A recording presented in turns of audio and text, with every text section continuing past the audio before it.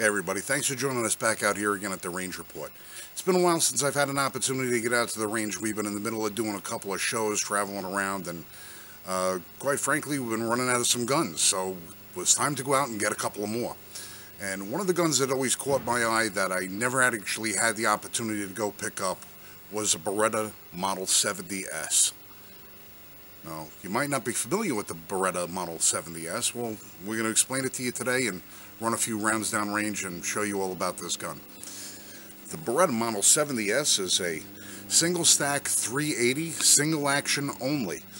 Uh, this was actually a firearm that was produced from 1958 until 1985. It was a favorite among the clandestine Israeli Secret Service for its uh, compactness, reliability, and the potency of the 380 round along with the 22 and 32 caliber variety. Uh, what makes this gun a little bit unique is the fact that it was uh, given a lot of problems importing it into the United States. Uh, as you're familiar with our, you know, some of our more ridiculous firearm laws, uh, this gun would have been considered a Saturday night, Saturday night special uh, due to size and weight. So what Beretta had to do with this firearm was create a target grip with the uh, the large thumb area right over here, the thumb rest area, and that is what allowed this gun to be brought into the United States for import back then. Uh, really ridiculous. Uh, it really lends itself to only being a right-handed shooting gun. Uh, the controls are all on the left-hand side, so it's right-handed friendly only. But if you were to attempt to fire this with your left hand, you would feel that it's extremely uncomfortable to do because that thumb rest is riding just below your index finger. You can't even get a good uh, purchase on the grip. But uh, a couple of things that uh, you might look familiar to you because this gun is the predecessor of the Beretta Model 84. And you'll notice by the shape of it, it looks very, very similar, except the Beretta Model 84, of course, is a double stack. Uh, this is a single action, double action pistol, has a magazine disconnect, so you can carry it locked and cocked. It has the ambidextrous 1911 style uh, safety on it, whereas this one only has that paddle on the one side. Uh, I said, this guy, even though they look very, very similar, the functionality couldn't be any more different. This is single action only. Uh, you have to carry this locked and, and cocked and ready to go. Uh, the one thing that I got to say about this gun is when you do put this in the cock position, and I'll show you this here, I don't know if you'll be able to see. We're going to do a desktop uh, review of this right in the middle of the video so you can get a closer look at it for what isn't getting caught on camera. But when you cock this firearm, here's your safety that detent is only about 3 16ths of an inch. And it really doesn't take an awful lot to throw that off into the, you know, in, in you know, whether it's in safety or off safety, it doesn't take a lot of force to move that around. So, you know, that gives me a little bit of pause in thinking about carrying one of these because it doesn't take that much to drop it off safe. Now, providing you have a holster and you, you know, your proper, you follow your proper uh, handgun fundamentals. You know, your finger's not on the trigger. You know, your your holster is going to cover the trigger guard, so you shouldn't have a problem. But still, it just there, there's so little there. Now, whether or not this gun being 41 or 42 years old, maybe the springs are a little worn. Uh, we've had this gun for quite some time now, but the only reason we haven't had it out to the range is because the European style magazine catch at the bottom uh, actually lost a little bit of the threading and the button came out. So we had to have it rethreaded, we had to put a new spring inside of it, just so that we could have positive engagement when we put the magazine in. Uh, otherwise, the only thing we did was fire one shot, magazine fell out, said, all right, well, into the box, off to the gunsmith. So today we're going to change that up. We got all the parts replaced in this thing. Uh, we're going to run some rounds. And you might also notice that it it may also look a little bit familiar to those of you who are into the German firearms. This does bear a striking resemblance to, if I can get it out of my pocket, the Walther PPK. Another single stack 380. Uh, this one, as you're probably familiar, is single action, double action. It has a decocker built into the safety. Uh, you know, James Bond's gun. But the one thing about these guns that functionally almost identical. I mean, the, the, the, the recoil impulse is exactly the same. Uh, the trigger pull from the single action is about seven pounds on this gun. It's actually kind of heavy. Uh, five and a half on this one. The, the one thing that's really, really different is the sights. The sights on the Walther are negligible at best. I mean, they're, they're so, so small. It's extremely hard to pick them up, and if you're going to hit anything at distance of 40 or 50 feet, uh, you your best is, you know, even a, uh, an accomplished shooter is probably only going to achieve maybe a 12 to 14 inch group with this out of the seven rounds that come in the magazine. The Beretta sights are a little bit more substantial. Whether or not that translates into a little more accuracy, I don't know. I can tell you that the barrel is 3 eighths of an inch longer. So we're going to see if all of that tied together makes this a little bit of a better shooter than this. Reliability, double strike capability on the Walther, which uh, actually comes in handy because we've had a couple of times when we're firing this particular firearm where the round didn't go off. Having that double strike capability really, you know, made the difference. We're able to get that round off without having to clear it. Whether or not, you know, you have no double strike capability on this. The round doesn't go off. You have to recock it or you have to rack it and clear it. But uh, like I said, we're going to run some rounds through this today. See what uh, Zudo does. I'm actually eager to, to, to, put some rounds through this. I've been looking forward to shooting this gun for probably 25 years now. And uh, to get my hands on one, like I said, for the longest time, I had only seen pictures of this. And it wasn't until uh, I went to one of my LGSs in upstate New York and there it was sitting in the corner of the showcase uh, that said uh, damaged on it, and that was the heel release. But uh, I figured if it was nothing more than just to put one more cat in my Beretta collection, I would do it. But uh, having it now fully functional, you know, makes all the difference to me. So, like I said, we're going to give this thing a shot. Holds 8 and 1, but we're only going to run the 8 out of the magazine. I only have one magazine for it.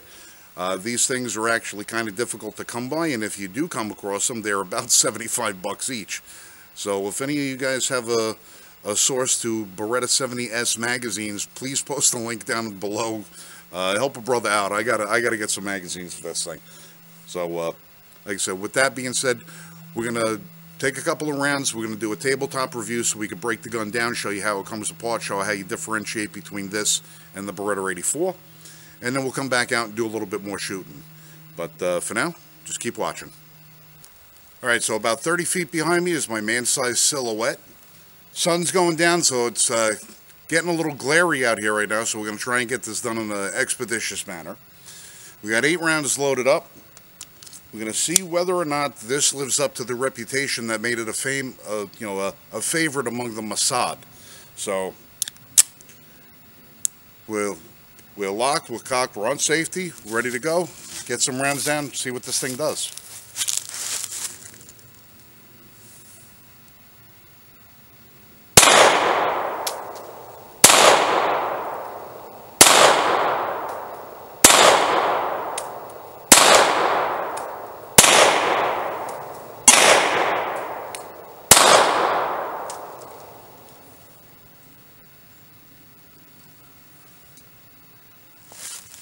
All right, got eight shots down. It looks to me about a 12 inch spread.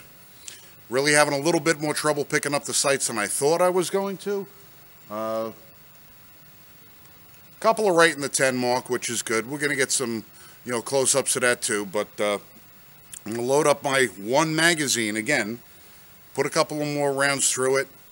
I'm going to try and concentrate on the cranial region. Uh, I think I could see the holes in that a little bit better than in the in the center mass, but uh, we'll get back at it. All right, so we got another eight rounds loaded. I'm going to try and concentrate everything in the head area this time. We're going to see whether or not uh, I can improve upon what I've done so far. I got to say the grip on this is a little bit small for me, and even though I'm going to take the magazine out again just so I can show you one more time. Even though the magazine has got the finger extension on it, when I put my hand on it, I only have about room for two of my fingers on there, so my third finger is falling below it. Uh, you know, maybe it would be good if I had a 10 round magazine and it had a little bit of extension on it, but like I said, it's just uh, not overly comfortable for me, the thumb rest is fantastic. It feels great on the thumb, but just having my pinky floating around down there in midair, uh, not exactly the most comfortable, you know, but still getting good enough purchase on it that I can control the gun. It is a little bit snappy, uh, especially for a 380, but the all steel frame helps mitigate that. But, uh, like I said, we're going to put another eight rounds in it, and see what I can do.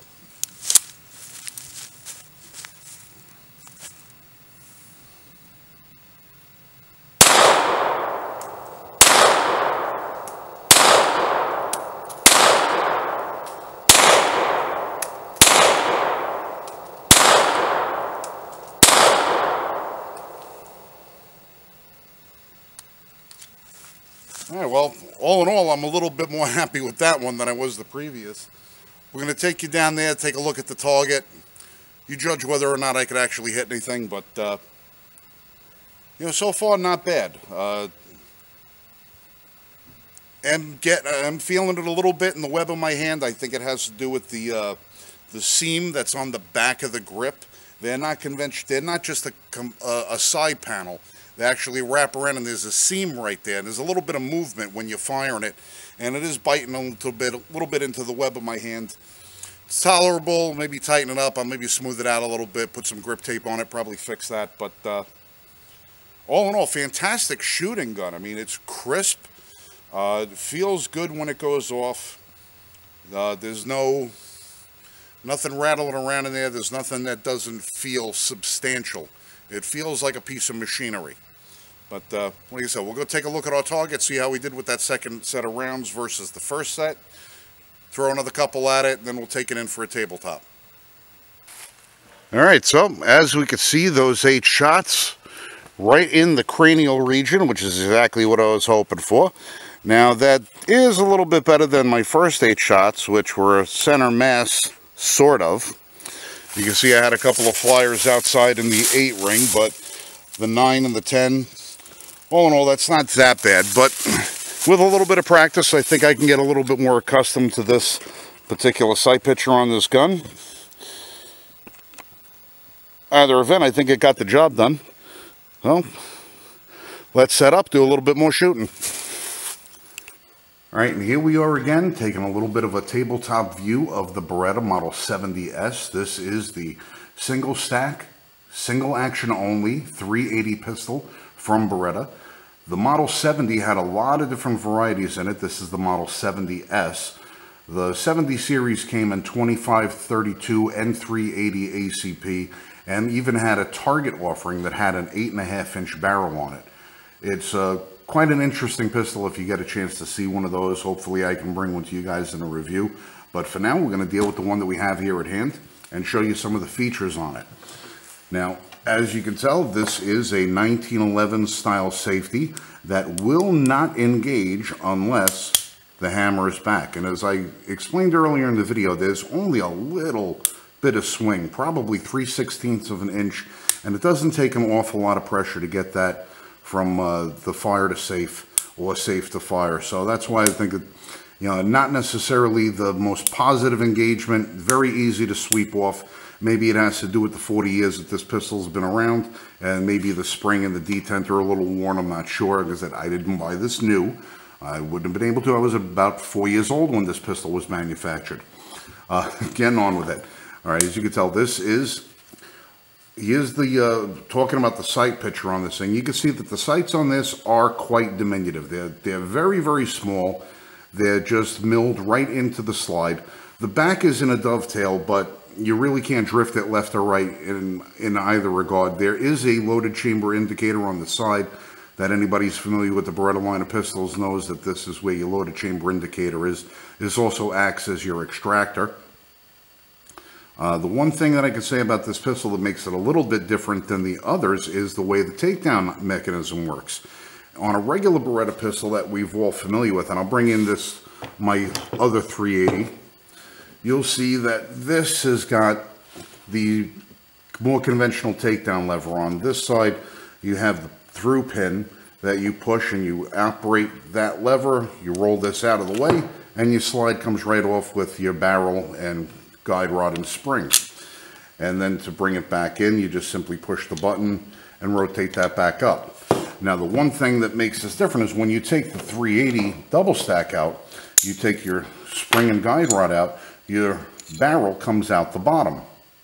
What makes the, the 70S a little bit different is that there is no button on the side in order to operate this lever. You have to push this back, rotate that to the takedown position, and then take the slide off. Now you take your spring out, but you cannot take the barrel out from the bottom. You actually have to tip it back up and remove it out of the top. It's a little unconventional with given the line of Berettas. We're all familiar on how to take them down. So this actually took me by surprise when I was trying to take it apart the first time, trying to figure out exactly why I was having difficulty. And then somebody clued me into it. But uh, there you have it. That's the Beretta Model 70S in 380 ACP. Eight rounds in the magazine, one in the chamber. Heel release for the magazine. This is what was giving us a lot of a, a lot of a problem. That goes all the way through. The little detent on the side had stripped itself out and this button was just free floating. So every time we put a magazine in it and we fired one round, the magazine just dropped right out of it. But we got that all straightened out now and she's good to go. So we're going to put this thing back together if I can. You slide that back in and there you go. And you'll, you also notice there is a magazine disconnect. So with no magazine in it, you will not have any function whatsoever with it. You have to put the magazine back in it, and there she goes. So, like I said, this is Frank from the Range Report. We're going to go back out to the range now, and put another couple of rounds out. All right, from the same distance with another eight rounds, I'm going to see if we can't keep everything right in that head.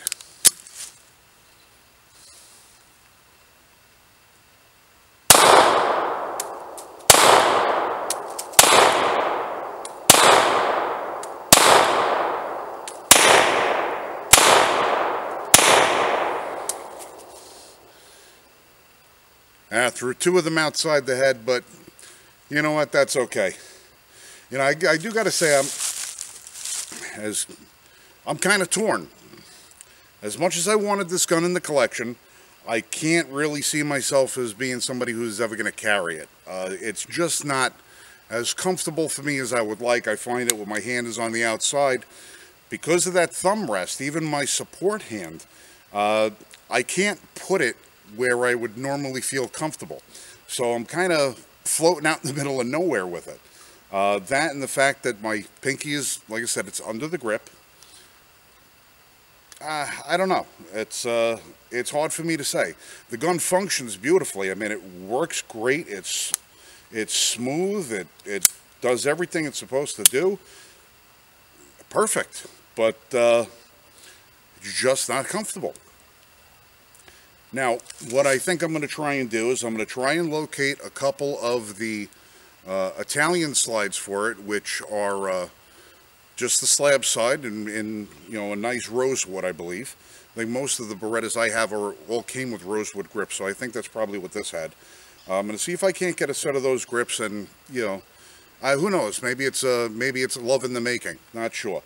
But as it is right now, it just, it's not very comfortable.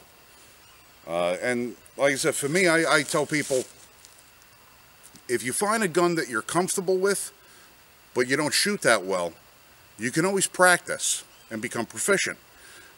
But if you have a gun that you're not comfortable with, it doesn't matter whether you can hit something or not. If you're not comfortable with it, you're probably not ever going to carry it. It's going to wind up sitting in the drawer or sitting in the safe. So find something that you're comfortable with. If a gun doesn't feel good in your hand, you it's never going to become part of your daily routine. So find something that you're comfortable with. This right now, I can't say I'm comfortable with it.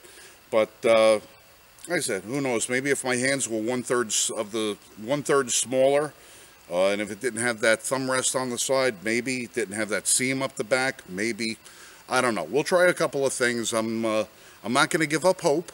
it's a it's a Beretta. So uh, and if you know me, you know I love Berettas. So now, I'm not gonna I'm not gonna give it a failing grade. I'm just gonna say it's not necessarily the gun for me. Is it the gun for you? I don't know. Try and find a Beretta Model 70 and uh, run some rounds through it. Who knows? It might be the gun that uh, fits your requirement. Right now, it's just going to fill that empty slot in the safe. But uh, like I said, this is Frank from the Range Report. Thanks for watching. Remember to hit like, subscribe, leave a comment, especially if you have a link for magazines or grips. Let me know. And while you're there, remember to visit us at uh, calendar.l1f.us. We're in the middle of our uh, annual fundraising effort. And uh, who knows, you may have an opportunity to win a custom-made $10,000 rifle from 5150 Rifles, along with a whole host of other fantastic prizes. And uh, who knows? And oh, and if you happen to be out at SHOT Show this year, look for us on the show floor. We're going to be walking around doing interviews with people just like we did last year. And if you're at SHOT Show and you see us walking around, you see the, the Liberty First logo, you know what? Flag us down, get on camera. We'd love to hear from you guys. So, like I said, you guys be safe, shoot straight. Have a good one.